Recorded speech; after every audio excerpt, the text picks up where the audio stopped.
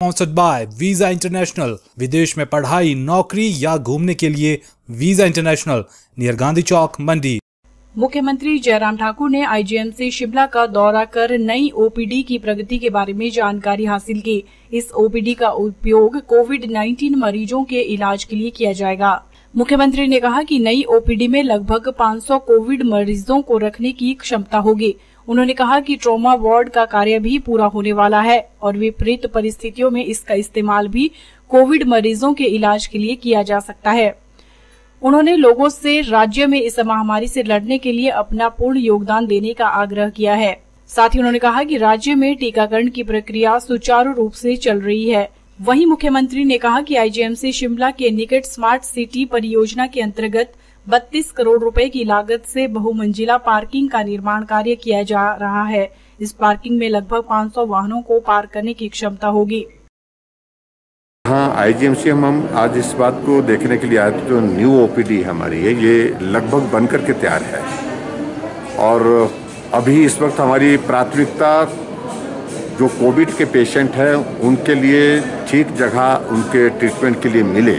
Hospital के अंदर। उस बात को सुनिश्चित करना बहुत आवश्यक है। उस दृष्टि से हमने ओपीडी के जो नौ फ्लोर इसके हैं, हमने फ़िलहाल हमने कहा कि जब तक ये कोविड का संकट है तो हम हम यहाँ और कुछ नहीं करेंगे। ये पूरा डेडिकेट करेंगे कोविड के लिए। और कोविड के टोटल पेशेंट की हमारे इस वक्त जो है वो लगभग 250 एडमिशन्स हैं आईजीएमसी में। और हम इसको मान करके चल रहे हैं कि 500 की कैपेसिटी हमारे इसी परमाइसिस में जो है वो आईजीएमसी के परमाइसिस में जो है इससे ज़्यादा हम कंटेन करने की स्थिति में हो पाएँगे, जिनका ट्रीटमेंट जहाँ कर सकते हैं ठीक प्रकार से।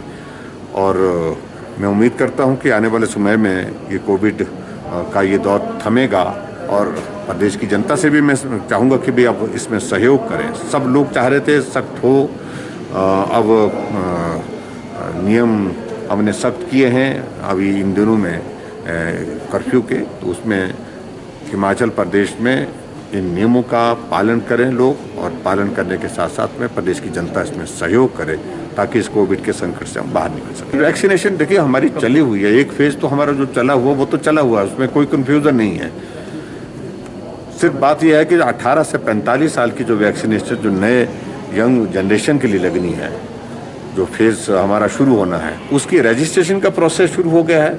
और हमने वैक्सीन के लिए जो है जिस कंपनी के साथ हमने टेकअप करना था वहाँ हमने ऑर्डर अपना प्लेस कर दिया है और उम्मीद करता हूँ जैसे वैक्सीन वहाँ से उपलब्ध हो गई उसके बाद हम फ़ेज़ मैनर में जो है वो उसको आ, हिमाचल प्रदेश में 18 से 45 की वैक्सीनेशन की प्रक्रिया को शुरू करेंगे। दो शिफ्टों में अभी इन दिनों में हमने ट्रॉमा शिफ्ट ट्रॉमा वार्ड का जो यहाँ पर जो है वो आ, काम शुरू किया है और उसमें मैं उम्मीद करता हूँ कि जून लास्ट तक और जुलाई के महीने तक ये भी कंप्लीट हो जाएगा।